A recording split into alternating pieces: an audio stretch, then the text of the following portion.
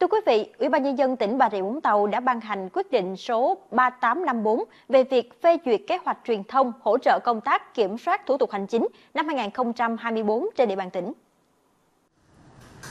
Theo kế hoạch 3854, Ủy ban Nhân dân tỉnh chỉ đạo tập trung thông tin những mô hình cách làm hay về cải cách hành chính được phổ biến nhân rộng trên địa bàn tỉnh, tuyên truyền phổ biến giáo dục pháp luật người dân, doanh nghiệp về mục đích ý nghĩa của công tác kiểm soát thủ tục hành chính. Ủy ban nhân dân tỉnh cũng chỉ đạo tăng cường triển khai các chuyên mục phát sóng định kỳ, phóng sự, tiểu phẩm ngắn với chủ đề về kiểm soát thủ tục hành chính, tiếp nhận ghi nhận những phản ánh kiến nghị về thủ tục hành chính,